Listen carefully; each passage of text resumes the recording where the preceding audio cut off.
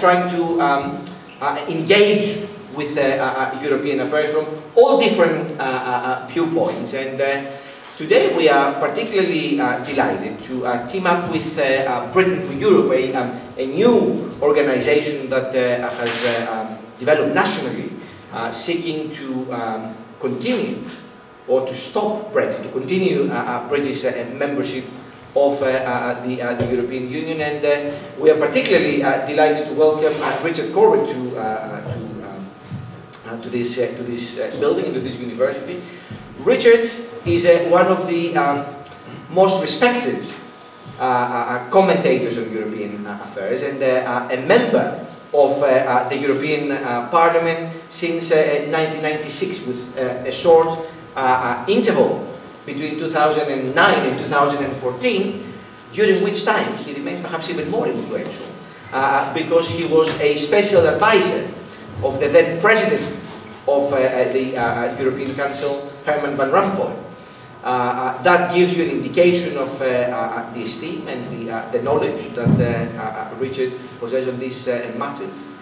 Richard is also, of course, the, the vice president of the European movement, Uh, here in the, uh, um, uh, in the UK and the, the deputy uh, leader of uh, the, the Labour parliamentary group in the European, in the European Parliament. It's a position that uh, he has held uh, beforehand as well. Uh, again, demonstrating that um, when it comes to, to, the European Union, fewer people can speak with, with greater authority. And we are delighted that you came. And thank you for giving up your, your Saturday uh, Uh, uh, afternoon as well. Uh, we have agreed with, uh, with Richard that uh, he will speak for 20 minutes, half an hour, on um, how we get to this point and also what to do now. and of course, in the second part of this event, you are only encouraged to, to ask questions. Any questions you want. you don't need to be um, um, expert uh, you are not here by virtue of your affiliation with the university. So you're here as active citizens, which in a way it's even more important to us. So any questions uh, that uh, uh you want, any criticisms that uh, you might have about things, any frustrations that uh, you want to vent, Richard is your uh, man. He's not responsible for Brexit, but uh, I'm sure he hears a lot of complaints in his uh, uh, uh travels. So um, let's hope that the, the, discussion that follows is active and um, um, useful for, for all of you. So thanks again for coming, Richard, and the floor is yours. Thank you.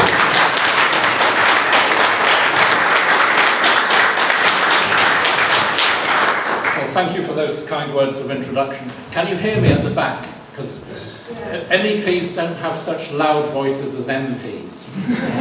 we don't need to bellow across a baying chamber. On the contrary, we have microphones because of the interpretation, so we, we tend not to have such um, powerful voices, but if you can hear me, that's all right then at the back. Um, two weeks ago, the negotiations for the divorce deal between Britain and the European Union started, the first and so far only meeting. One remarkable fact at that meeting was that the British government handed over not a single position paper, not at the meeting, nor in advance of the meeting, as the European Union had done. And that's because on all the key issues to be faced, the British government still doesn't know exactly what it wants to ask for in these negotiations. And make no mistake, this is the mother of all divorce cases. There are over 7,000 subjects which at some point or another, assuming we go ahead with Brexit, would need to be settled and solved. They range from minor things to pretty important things to mega important. And people discover new things every day. To give an example of a minor one, pet passports. Yeah? To take your dog on holiday in the summer. A quarter of a million Brits do that every year. The EU has a scheme for pet passports. If your dog is, has the proper vaccinations, a chip, it gets a little passport, you can take it anywhere in the European Union. If we're leaving the European Union, unless we negotiate to stay in that scheme, overnight you won't be able to take your dog on holiday anymore. It's a minor thing, but of course if, if you need a guide dog, it's more important. If you're a farmer whose farm straddles the Irish border between Northern Ireland and the Republic, then your sheepdog will no longer legally be able to go from one end of the farm to the other. These examples of minor little things are numerous, and they add up. Medium-sized things. Let's take something that's not been talked about very much, the, the various technical agencies that the European Union has, where as European countries we, we pool resources to, to share the, the task. Take the European Air Safety Agency. Through that we pool the testing, and certifying of all aircraft in Europe instead of us all duplicating each other. Now, in the current state of the law, to fly anywhere in Europe, you need a certificate from that agency. Without it, you cannot fly. You can't even fly across the Atlantic either because of the EU-USA Open Skies Agreement now, if we leave without addressing that problem, then overnight, no British aircraft can fly anywhere in Europe or across the Atlantic. You can still do internal flights within the UK, but not anywhere else. So obviously that is an issue that has to be addressed. What do you do about it? Is Britain going to set up its own agency, duplicating the work of the European agency, recruiting the necessary expertise at relatively short notice, all this at great cost, and then negotiate for recognition of that agency, not just with the EU, but with airline authorities across the world, say, yes, we recognise your certifications? Or does Britain say, hmm, that's a bit silly and costly? Perhaps we could say to the EU, sorry we're leaving, but could we stay in this agency after all, please? We still don't know what the government's intention is, a year after the referendum, as regards this agency. And that's, the, that's just one of many agencies. What about the Medicines Agency? Pretty vital for our pharmaceutical industry because it authorises the placing on the European market of all new um, pharmaceutical products. What about the Chemicals Agency? Ditto for the chemicals industry in Britain. And you can go through these agency after agency. Different type of agency. Europol, which organises the cooperation of police forces across Europe. There are 40,000 cross-border police investigations every year coordinated through Europol. If we tear ourselves out of that, how do you deal with cross-border crime, international criminal gangs, drug traffickers, and, need we remind ourselves in this city, terrorism? This is a vital tool. Yet we still don't know. There have been hints that we'd like to stay in Europe, Europol, please. There are indeed countries that are not members of the European Union who have observer status in Europol, oh. not full member, so you don't have such a role in the decision taking. But of course that involves accepting that if there's any dispute about the rules, it's the European Court of Justice that settles that dispute, which this government, at least under Theresa May, has ruled out. Those are the medium-sized things. And then the big ones, which have been in the news this week, again, the single market and the customs union. Customs union, there's no tariff barriers within the European Union and we have a common external tariff vis-à-vis -vis the rest of the world. If we leave the customs union, even if we manage to negotiate zero tariff access, which is a big if, to the European Union for all our products. The very fact of exporting into a customs union, any customs union, from outside means that there has to be, under WTO rules, etc., a verification of the origin of your products, so that it's not, say, Japan exporting via Britain to get duty-free access to the single market, to the EU customs union. What does that mean? It means both a lot of red tape, extra form filling for firms, and checks at the border. You can diminish one by having more of the other, but there'll always be a little bit of both. That's a huge burden for firms, especially those whose production chains cross the border, sometimes several times, as in our uh, uh, air manufacturing sector or in our automobile sector. I met with Honda UK the other day. They have over 100 lorries a day bringing parts from Dover to their plant in Swindon.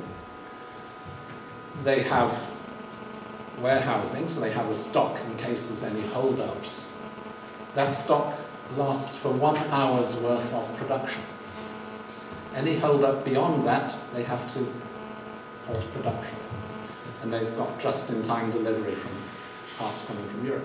So any hold-ups at Dover, and some people have estimated that's going the other way, of course, but Operation Stack, which you see from time to time on the M20 when there's a hold-up on the channel, that will become almost a permanent feature. Unless we stay in the customs union. In which case, why is there a man called Liam Fox in the Department for International Trade? Because that only makes sense if you're leaving the customs union and you're going to make separate trade deals across the world. We still don't know how this is going to be resolved.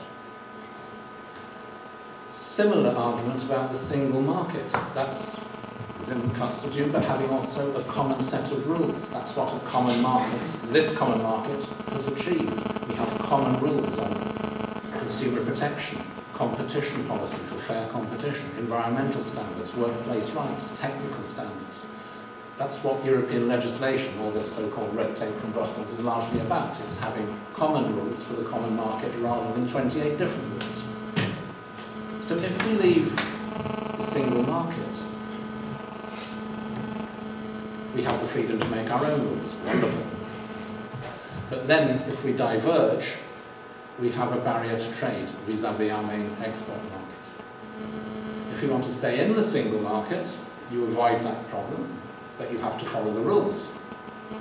And then, if we leave, we have no say on those rules.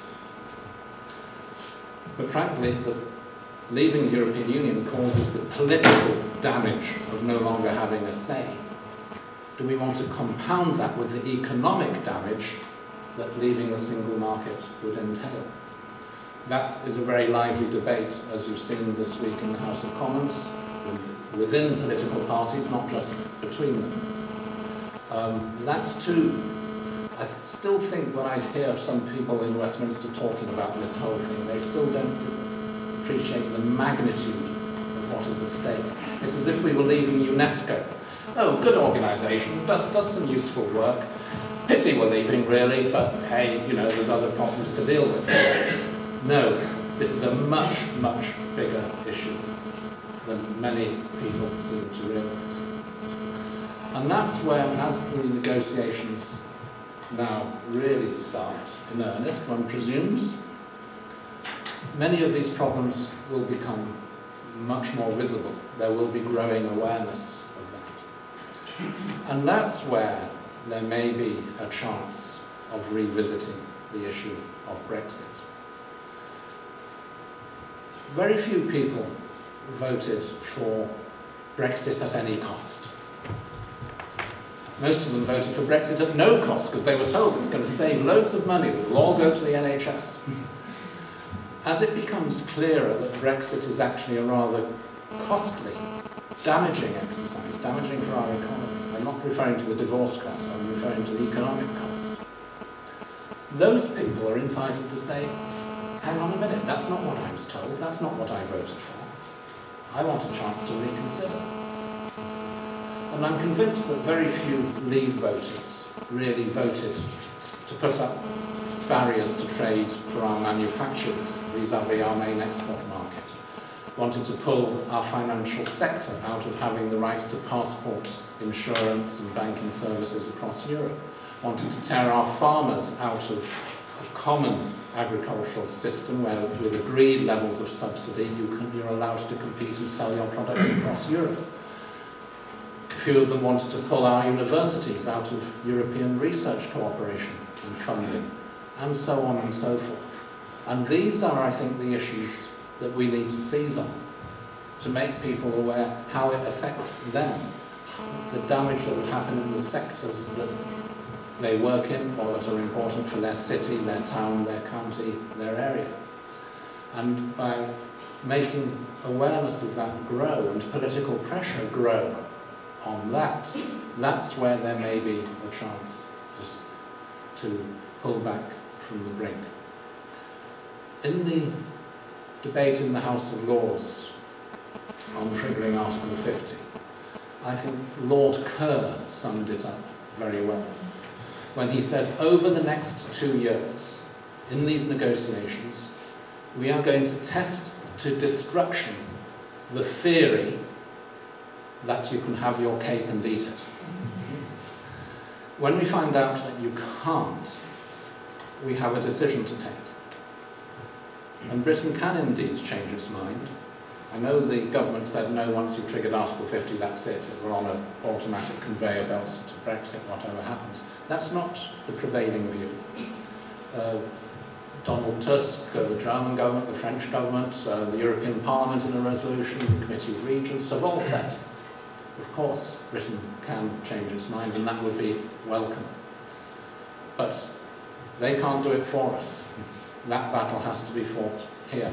So I'm delighted that, uh, that um, you've come here today. I'm delighted overall that your organisation has, has um, established itself and has so many enthusiastic members. I'm delighted that you're converging with the European movement and others um, to make a, a common effort, uh, perhaps even a common, well, I'm not quite sure where we are on you becoming a sec sections all over the sections of the European movement. Whatever it is, the technical detail doesn't matter. The key thing is that we're working together in this common cause.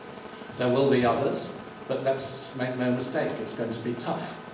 Um, the centre of gravity in political parties has shifted because of the result of the referendum. Shift it back again is not going to be easy. Uh, but there are people in all parties, some more than others, who are willing to take this step. And I think a crucial point will be, if we get to that point, that when this so-called divorce deal under Article 50 comes back for a so-called meaningful vote in the House of Commons, that if the Commons rejects it and says no, what does that mean? It can't mean leaving without a deal, because everybody agrees that's a disaster. Now everyone agrees that's a disaster. They didn't two months ago. It could mean go away and negotiate further, but the scope of changing much at that point will be very limited. So what it must mean is we've looked over the precipice and we've decided no, this is a step too far to take as a country. Now that we see what Brexit really entails, we need a chance change mind. Legally, Parliament can stop it. Politically, I expect it will need at some point another referendum. Because otherwise, for years and years ahead, you would have the narrative, ah, the people voted to leave and the politicians stopped it. So we'd have to go back at some point. And that referendum won't be easy either. But the key thing at the moment is to build up the political resistance to it, to say, look, this Brexit is much more than, entails much more than we were ever told. It's a disaster, it's going to be costly, damaging to our economy, damaging to our culture, damaging to our country generally. We shouldn't go ahead with it. And that's got to be our task over the next 18 months or more. Thank you very much.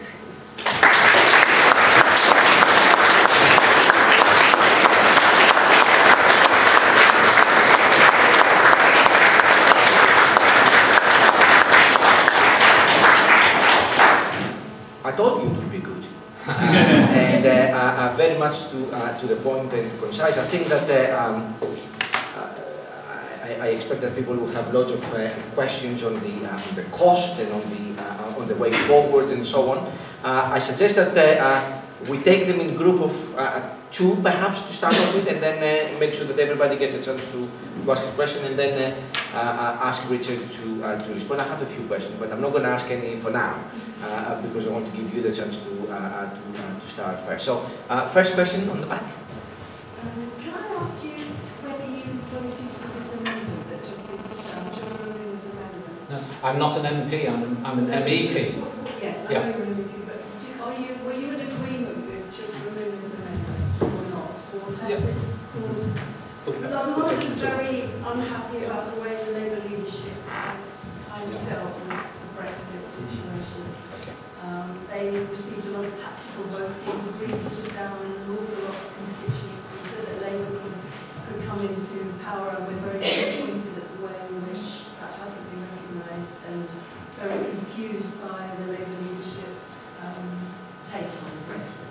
Is there another question perhaps on the Labour Party so we can uh, group them together? Because, yes, please. I- I'm a hard Remainer. I've been a pro-European since the 60s, uh, before we joined, and I'm still just about a member of the Labour Party, but I'm really struggling. And there doesn't seem to be anywhere to go. And I wonder if I should stay and keep arguing to leadership that doesn't listen. I'm not worried about leftist views, I've been probably voting green if I had a chance, but you get that general gist. Um, there doesn't seem to be a focus for what I think the opposition to the, mo- to, to the most catastrophic event in, in British history in, in, since the war. And um, I feel lost. I can scatter my interest in a dozen different pro-EU or partial pro-EU movements, and I don't know where the new coalescent, coalescent coalition is going to be. Coalescence, I should say, of forces is going to be, or if there's ever going to be one. You, you might know better than me. Yeah, well, I cannot honestly say that I'm happy about the state of things in the Labour Party when it comes to the European Union. Um, this is a battle that has to be fought within parties, all parties, um, some more than others, um, rather than between parties. Um, in the long run, ideally, we would need a, a Britain which is like most other countries in Europe, where the mainstream centre-right and centre-left parties are both pro-European. That would be ideal, but we're a long way from that. And in the Labour Party, it's no secret that Jeremy Corbyn is uh, somewhat, uh, was somewhat lukewarm in the, his campaigning in the referendum. He did campaign for Remain. He did, I, dug out a quote of his the other day, which was very good, and I um, keep on reminding people of what he said then. But um, he and others take the view either the people have spoken, we must respect it, even though it was an advisory referendum won by a narrow majority on the basis of a pack of lies and with a questionable franchise.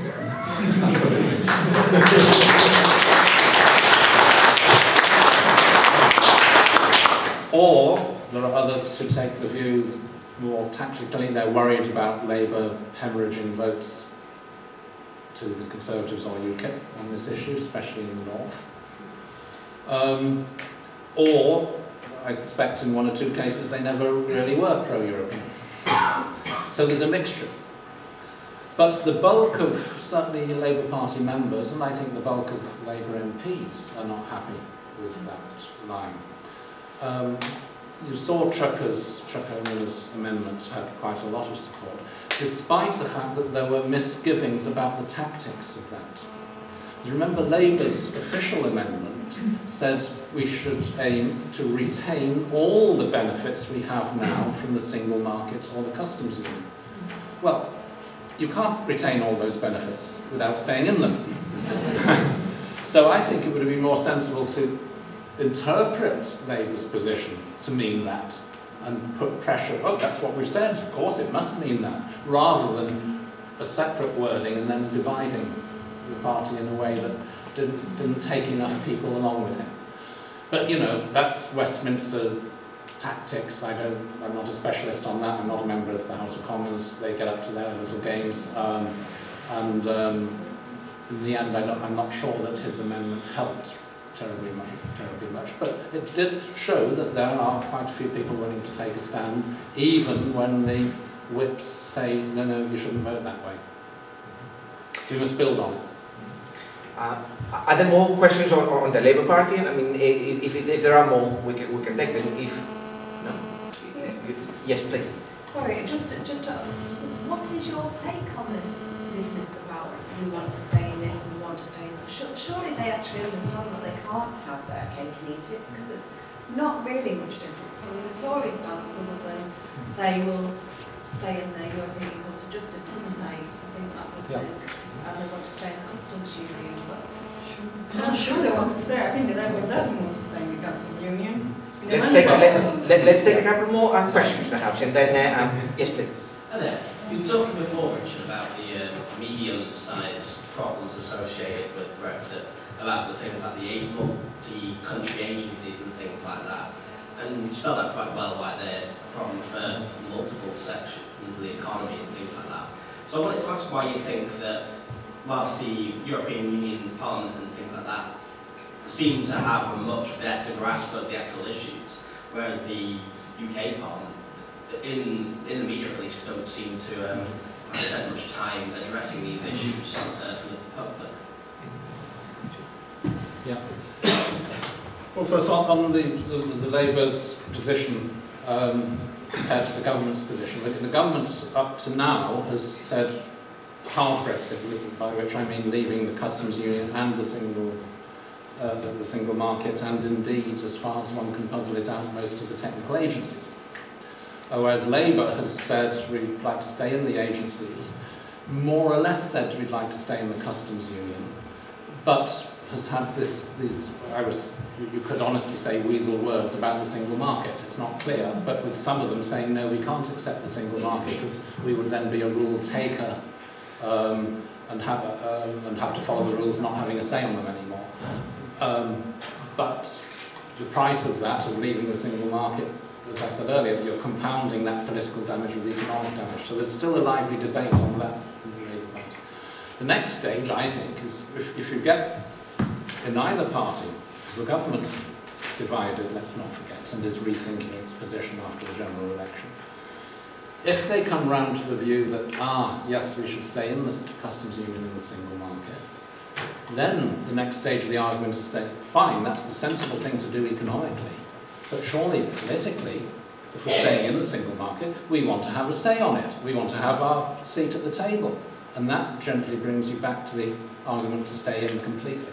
But that's, in some, for some segments in each party, you've got to first win them over to staying in the single market and the customs union. And the next stage is then to say, well, if, if, you, if you accept that, which you're rightly, because it makes sense, it would be folly not to, then the logical next step is to say, well, actually, we need to have a say.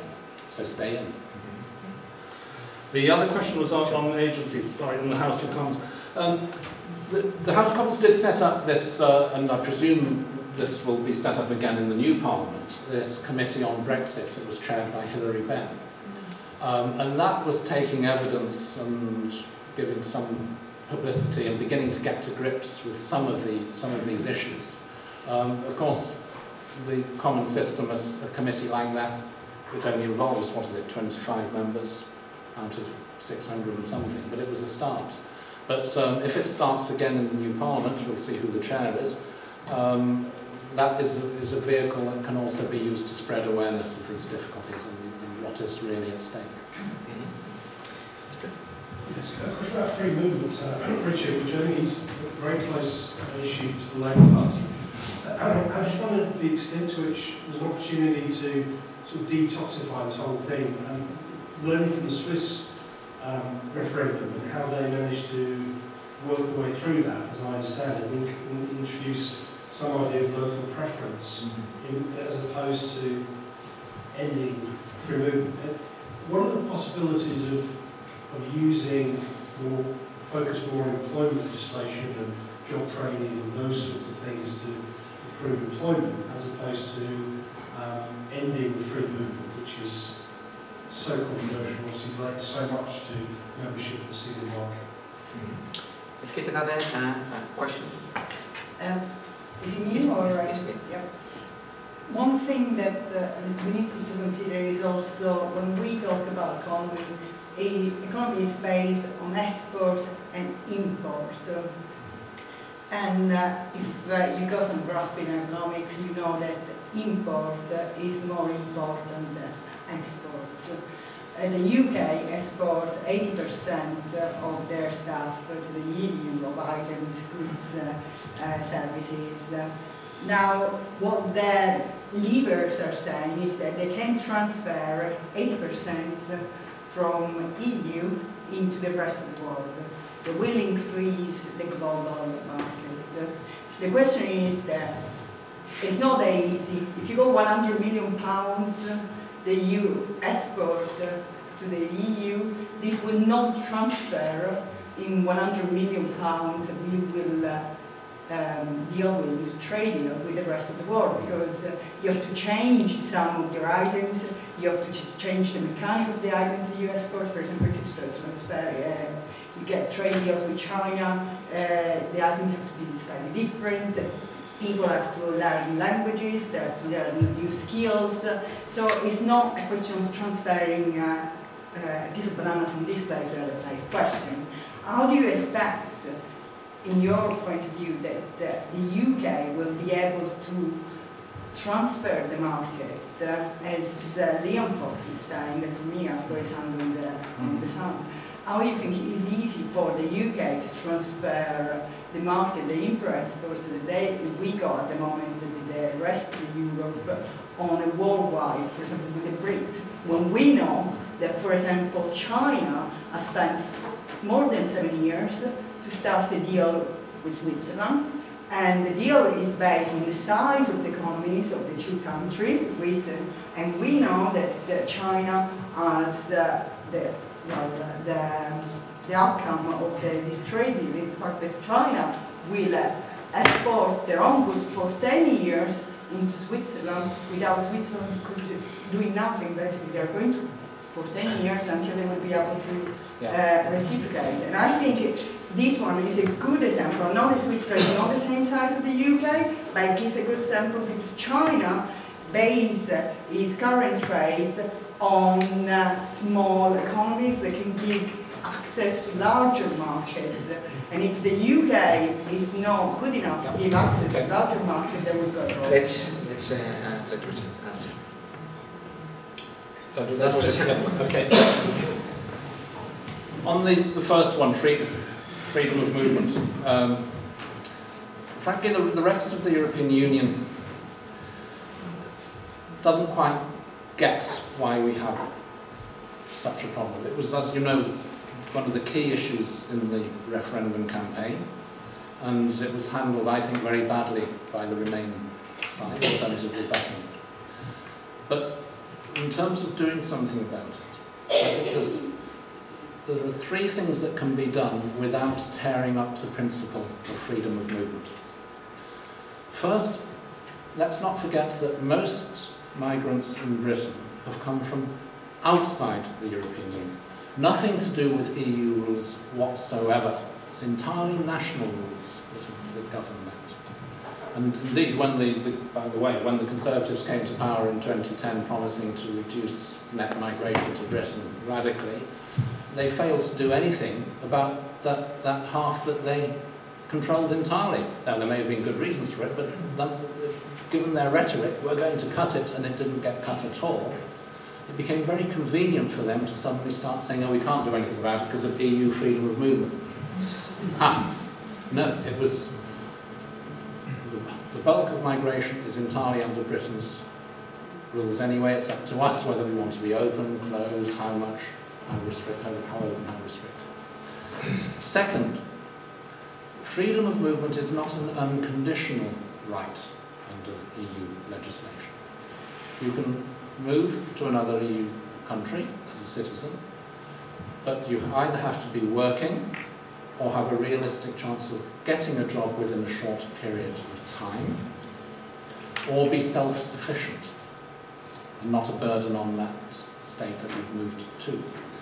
Now, countries like Belgium and France ask two or three thousand people a year to return to their home country, not least to leave Belgium or France, because they don't meet those conditions. Britain never did, really. It just blamed the system. Now, I know that's partly because we don't have a system of official addresses and identity cards, so it's hard to find people once they're in. But the rest of Europe's all, you know, that's, that's not our fault, that's, that's your fault. It's up to you to find ways of dealing with this. And the third thing that can be done is to take measures nationally to attenuate the effects of high levels of migration in particular areas especially or in particular sectors. There's nothing in EU law that would prohibit Britain, for instance, making it illegal for companies to advertise job vacancies abroad without advertising them locally, like uh, a certain very large um, clothes company warehouse in Yorkshire that I know does. It advertises, it's near Doncaster, it only advertises in Poland when it has vacancies. You could make that illegal, require people to. Proper enforcement of the minimum wage and of going rates. Um, reintroducing the fund that Labour had when it was in power to help local authorities that are under extra pressure, whose infrastructure is under extra pressure because of higher numbers than usual. After all, the Treasury makes a profit on EU migrants in Britain. They pay one third more in tax than they take in services and benefits added together. Yeah? Why doesn't the Treasury redistribute a little bit of that profit to those local authorities that are bearing the costs, extra costs in some places? There's a whole host of things that could be done under domestic legislation. And that three-pronged approach would enable you to address public concerns, which are real, about, as we all know from knocking on doors, don't we, about immigration, without tearing up the principle of free movement. I think it can be done.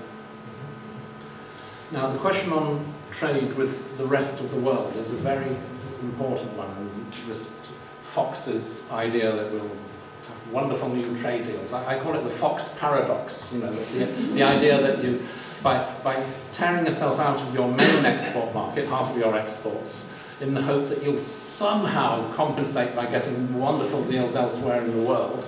Um, not so easy. Partly for the reasons you rightly drew attention to, but partly as well because if we leave the customs union, the first thing we have to do is negotiate new arrangements, deals with the rest of the world, 160 odd members of the WTO, to set tariff levels. We might go in and say, we'll set the same tariffs as, we now have via the EU. No problem. Ha, no problem. It has to be accepted by each of those countries. Some of them will certainly uh, say, no, we're not happy with, with that. We, we, we agreed that with the EU, because it's the world's largest market. You as Britain, what's in it for us? Take, the, take South Korea as another example. The EU-South Korea trade deal came into force, I think about five years ago. Britain has doubled its exports to South Korea since then.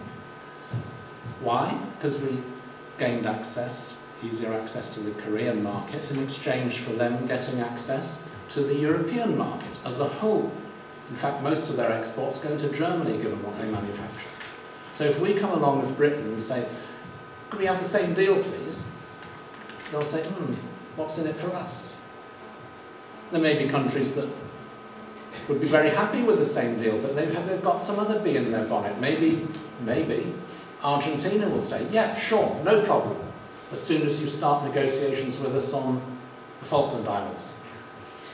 We don't know. We're putting ourselves in a position of being held hostage in this way.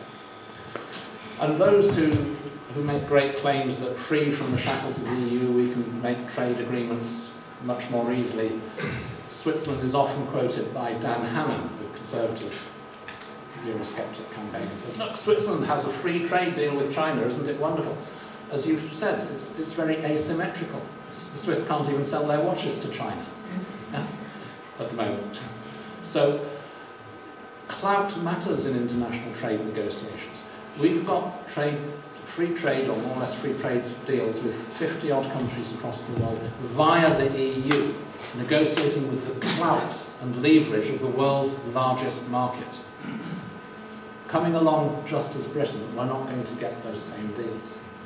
And uh, we'll have to make all kinds of concessions, um, And with, with the USA, all the old nightmares of what TTIP might involve. If we're just coming along as Britain, especially with this government, we'll accept everything, you know, chlorinated chicken and hormones in beef and all the rest of it, because we'll have no choice, because we'll be desperate for a deal.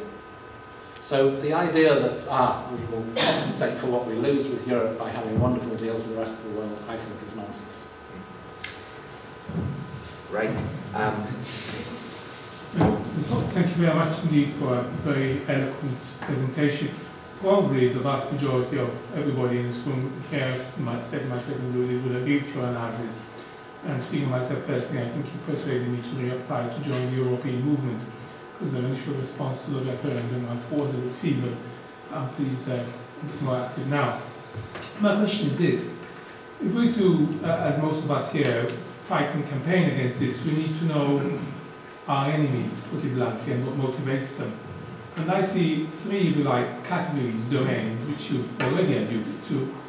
There are people there who vote in Leave largely because of xenophobia, not wanting sort of Johnny Foreigner wanting Britain to be great again. There's the sort of economic cake and eat it people who think that all standards will be the same. And then there's the third category, which I think is the most sinister, uh, which if you blue Tory would lead you to uh, a, a sort of uh, paradise uh, of um, tax um, evasion by big corporations, and if you red, it would mean you could do whatever you wanted to uh, in terms of state control, state subsidy, and so on. Now, in your judgment, these three possible reasons to vote Leave, and at the moment, three possible philosophies behind our um, enemies, to put it bluntly. Which ones should we fear most? Is it all three? And do you have any tips as to how we sort of um, defeat them? mm. Let's try and keep questions short so that we can. Uh, uh, we'll take them in group of four now because I think they're quite uh, they're quite a few. So a related question, uh, this is a question to you as a politician. So my reading of opinion polling is that there isn't a great deal of shift from people who voted Leave towards Remain. And there does seem to be quite a lot of acceptance by some people who voted Remain for the decision that's been made. So we have an uphill struggle for a second referendum. We also have a large uh, part of the Leave demographic, which is retired or not work, is not directly linked to the real economy and maybe gets more of its information about the economy from reading newspapers than it does from actually doing work, so out of work. Um, and there are poor people whose, who, whose uh, uh, engagement with the economy uh, is on the horizon next Tuesday. So given that the polling evidence doesn't show a strong shift towards Remain, 48% would be a fine thing now. As a politician, how do you see us swinging back to 48% beyond in the next 12 to 18 months? Over there at the back. You want to do? stand up so we can see each other. Um, I, my question really follows on from the, the previous speaker. What you've illustrated, I think, only too well is the sheer complexity, the sheer size of what we're confronted with. And the man in the street, knowing pretty well zero about the whole thing. Um, if we're going to change opinion, surely there needs to be some kind of education exercise. And could you possibly see that happening? Would it be a party political thing? Would it be a government thing? Would it be something else? But how do we begin to communicate some of the really absolutely critical issues that we mentioned here today to the ordinary people out there? I'll just uh, um, uh, st step in for one minute and uh, please excuse uh, the abuse of the chairmanship here. Uh, when Will uh, Straw came uh, here um, 18 months ago, I remember people telling him, and I, I think I was one of them, that don't focus the argument so much on the economic damage. We all recognize it, uh, um, uh, and uh, the more expertly you look into this, the more clear it becomes. But that's something that uh, can be very easily counter-attacked by um, uh, uh, arguments of the type of the 300 million uh, pounds uh, for, the, uh, uh, for the NHS and so on. The question is, do you think that the idea, the argument that uh, Britain has been, always has been, culturally, politically, economically, even in terms of identity, part of Europe. This argument is never heard.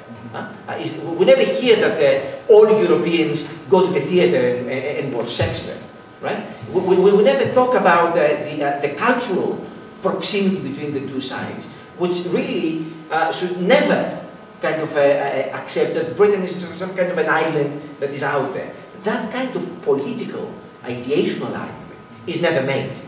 And the, for those of you who were not there in that debate, the, the argument that it Will Straw made is that, oh, we don't want to patronize people. We accept they're anti-European at heart, and we're going to uh, sort of uh, uh, project the economic fear argument because that will register better. Because if we tell them that they're a little bit xenophobic, they're a little bit uh, uh, um, sort of uh, too negative against Europe, mm -hmm. then we risk the Gordon Brown um, kind of incident when she, he called that woman a bigot uh, bigot gate. And I, I remember Will saying, we don't want to be doing the same here because that will produce uh, the very opposite effect of what we're trying to achieve. So, in short, is the, the political, cultural, ideational argument lost even for the next referendum?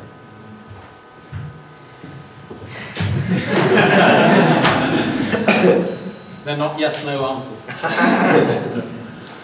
First, the question of uh, of our enemies. I, I, I think there's, there's, a lot in that. You, you, you've had three, I, I often say there's, there's been two driving forces, but they're, they're more or less the same as you identified. There's the driving force on the anti-European side that is nationalist, xenophobic, the ultra-nationalists, as it were, about as it were, about identity and so on, which include racists as well.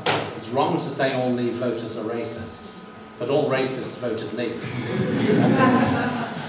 and the other is what I would call the, the neoliberal right in economic terms. It's no coincidence in my, my mind, being a bit political here, that the it's all political, isn't that some of the strongest opponents of the European Union are on the neoliberal right wing, because what they dislike about the European Union is that this market, the EU single market, the biggest market in the world, is a market with rules rules to protect consumers, rules to protect workers, rules to protect the environment, rules to regulate competition to make it fair, as we've seen with the Commission this last week taking on one of the might of Google.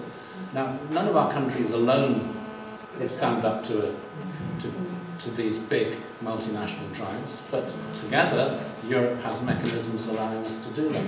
They hate that. They want an absolute free-for-all, and of course some of their money comes from the, the interests of those who who don't want a strong European Union in that sense. So, so I, I, I agree with you on, on that. How to shift the opinion polls. Now, actually, when you think about it, you would have expected a big shift to supporting Leave. Those people who weren't quite sure, on balance, voted to remain, who say, well, okay, I voted to remain, but it's settled now, we've had a referendum, and there are plenty of people who say that, you'd have expected a shift to the Leave side. But the fact that the opinion polls still show more or less the same division means that there must already have been an equivalent number who've moved the other way, already. In fact, some opinion polls recently showed that were even more encouraging. But, but one would have expected public opinion to rally behind the result of the referendum. It hasn't.